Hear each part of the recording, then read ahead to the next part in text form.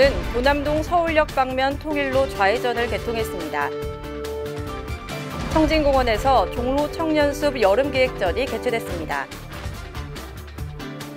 11일 제1차 여성친화도시 주민참여단의 워크숍이 진행됐습니다. 2020년 자치계획 실행을 위한 종로구 제1회 주민총회가 열렸습니다.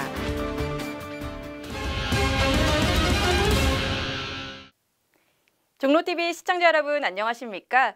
한 주간 다양한 종로구의 소식을 전해드리는 주간 종로통의 박소영입니다.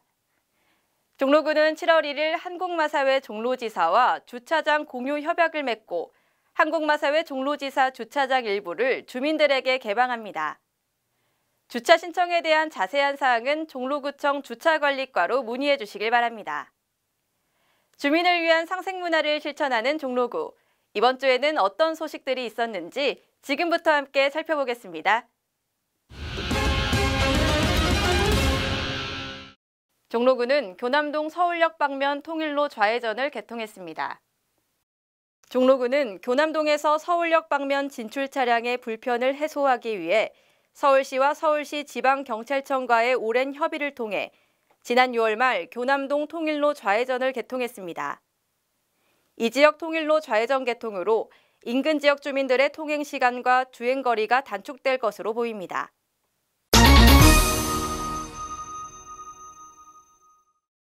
청진공원에서 청년복합 문화마켓 종로 청년숲 여름기획전이 개최됐습니다. 이번 2019 종로 청년숲 여름기획전은 청년 작가들의 개성 넘치는 수공예 제품과 도심 속 여름 휴양지를 느낄 수 있는 제품들이 함께 선보여 주민들의 관심을 끌었습니다. 청년 사업가들의 판로 지원을 위한 종로 청년 숲은 오는 10월까지 운영됩니다.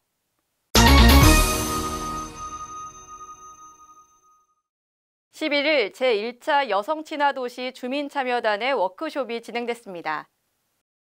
여성친화도시 주민참여단은 여성의 경험과 관점이 반영된 여성 정책을 추진하기 위해 운영되는 것으로 이번 워크숍을 통해 여성 친화도시 기본교육과 모니터링 교육, 그리고 사업과제 발굴 등이 진행됐습니다.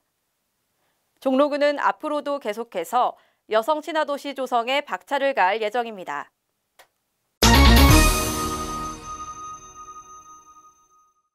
(13일) 2020년 자치계획 실행을 위한 종로구 제1회 주민총회가 열렸습니다.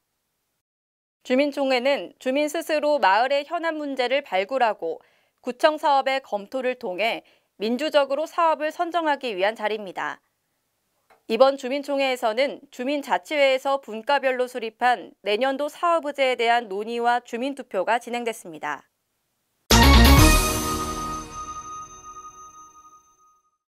이어서 종로구 소식입니다. 종로구립 박노수 미술관에서 개관 5주년 기념 어린이 교육 프로그램 나만의 씨앗도 그리기가 운영됩니다. 대상은 초등학교 저학년이며 오는 7월 25일부터 8월 23일까지 운영됩니다. 접수는 7월 16일부터 종로문화재단 홈페이지를 통해 가능합니다. 나만의 씨앗도 그리기에 관심 있는 종로구 초등학생들의 많은 관심과 참여 바랍니다.